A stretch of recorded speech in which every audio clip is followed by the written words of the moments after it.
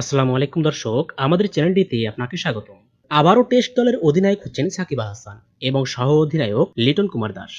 মাস সমুদ্রে প্রচণ্ড ঝড়ে দিঘারা জাহাজের হাল কেবল ধরতে পারেন আত্মবিশ্বাসী একজন নাবিক। তীরে ভিড়িয়ে তিনি হয়ে ওঠেন নায়ক। নেতৃত্বগুণ দক্ষতা ও দল সামলানোর ক্ষমতায় তার মাথায় ওঠে শ্রেষ্ঠত্বের মুকুট। দেশের ক্রিকেটে প্রলয়সকারী ঝড় হয়েছিল সাকিব আল হাসানের নিষেধাজ্ঞায়। ফিক্সিং এর প্রস্তাব গোপন করে আইসিসি থেকে এক বছর সব ধরনের ক্রিকেট থেকে নিষিদ্ধ করে। টেস্ট ক্রিকেটের নেতৃত্ব তখন তারই কাঁধে। এ ফরম্যাটে তখন নিয়মিত খেলছেন কেবল মমিনুল হক, যার নামের পাশে টেস্ট চ্যাম্পিয়ন লিস্টের খেতাবও যুক্ত হয়ে যায়। বিসিবি তাকেই সাদা পোশাকে অধিনায়ক হিসেবে বেছে নেয় কিন্তু অধিনায়ক হওয়ার জন্য কি মমিনুল প্রস্তুত ছিলেন? নিজের প্রথম সংবাদ সম্মেলনে মমিনুল অকপটে বলেছিলেন, সত্যি কথা বলতে কি, আমি অধিনায়কত্ব করব। সেজন্য মোটেও প্রস্তুত ছিলাম না। কখনো ভাবিওনি বাংলাদেশের অধিনায়ক হব।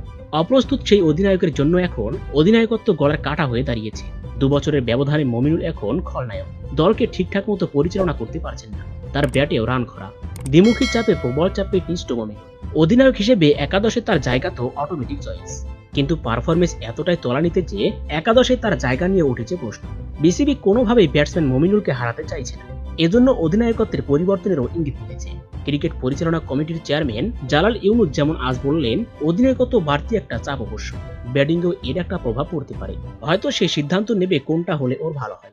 শ্রীলঙ্কা সিরিজ শেষে বিসিবির সভাপতি নাজমুল হাসান পাপনের সঙ্গে বৈঠকে বসেছিলেন মমিনুল হক। তার অধিনায়কত্বের ভবিষ্যৎ নিয়ে সামনেও আলোচনার বসার কথা রয়েছে। তবে বিসিবি নিজেদের সিদ্ধান্ত নিয়ে ফেলেছে বলেই জানা গেছে। ঘনিষ্ঠ সূত্রে জানা গেছে যে, বিসিবির একাধিক পরিচালক মমিনুলকে অধিনায়কত্ব থেকে সরিয়ে সাকিবকে পুনরায় অধিনায়ক করার কথা বলেছেন। সেই সাথে দারুণ ছন্দে থাকা লিটন কুমার দাসকে সহ অধিনায়ক হিসেবে ঘোষণা করার কথা বলেছেন। বিসিবির সভাপতিও তাতে সম্মতি দিয়েছেন। এ নিয়ে সাকিবের সঙ্গে বোর্ড প্রধান মৌখিক আলোচনাও সেরে ফেলেছেন। তবে সাকিবের উত্তর পাওয়া যায়নি এখনও। ওয়েস্ট ইন্ডিজ সফরে মমিনুলকে অধিনায়ক করে দল ঘোষণা করেছে বিসিবি, যে সিরিজে সাকিবও থাকবেন। এই সিরিজ দিয়েই মমিনুলের অধিনায়কত্ব শেষ হতে যাচ্ছে বলে জানা গেছে। তবে মমিনুল অধিনায়কত্ব করতে না চাইলে এই সফরে সাকিবের কাঁধে দায়িত্ব যাবে। দুইজন রয়েছে বিসিবির বোর্ড সভা। এ সভাতেই টেস্ট অধিনায়কত্বের সিদ্ধান্ত চলে আসবে। অধিনায়কত্ব মমিনুলের পারফরমেন্সে কতটা প্রভাব ফেলেছে তা এ পরিসংখ্যানে স্পষ্ট হবে। অধিনায়ক হিসেবে সতেরো ম্যাচে মমিনুলের রান নয়শো বারো। ব্যাটিং গড় একত্রিশ দশমিক চুয়াল্লিশ। পেয়েছেন তিনটি সেঞ্চুরি।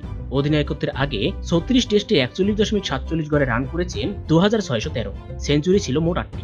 শেষ দশ ইনিংসে তার রান মাত্র আটাত্তর। আর ইনিংসেই দুই অঙ্কের ঘরে যেতে পারেননি।